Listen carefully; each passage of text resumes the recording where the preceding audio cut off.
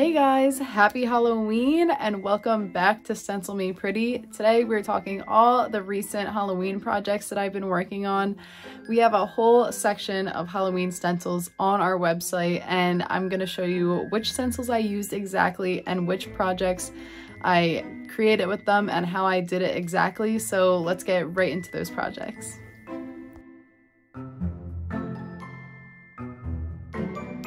This trick or treat sign was so easy to make. The metal sign was from Hobby Lobby for about $4. I got a can of spray paint for about $3 and then used the trick or treat stencil to just spray it on real quick. This, this trick or treat sign was project was done in about 20 minutes.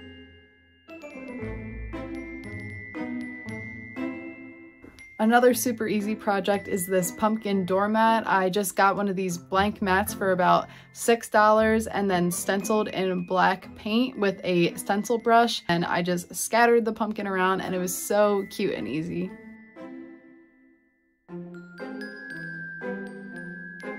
The It's October Witches stencil is one of my favorites in the collection. I just stained a piece of wood white and then I went in with black and then also added some black glitter for some fun accents.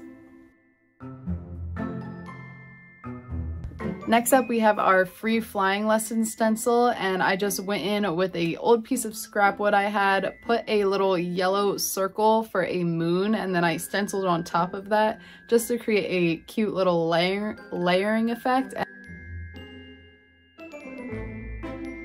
Next up, I used our half skull stencil uh, to create this little DIY Halloween mask.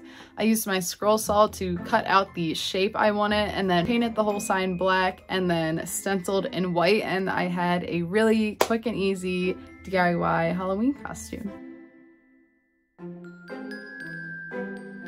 Next up, we are carving pumpkins. I used my stencil to just get my design and then I removed my stencil. Lastly, we have our spooky skeleton welcome sign, and I love this sign for Halloween to put it on your front porch right next to your little candy bowl, and it's just such an adorable stencil. It's one of my favorites in the collection, and I love it so much. That concludes all the Halloween projects that I've done this season. I hope you guys loved all of them. If you want to go check out some of our stencils on our website, you can head over to stencilmepretty.com. If you want to go see some of the projects that I've been working on, I have some fall and Halloween ones on our Instagram. You can head over to stencilmepretty on Instagram. And that concludes today's video. I hope you guys loved all these projects and I wish you guys a happy Halloween.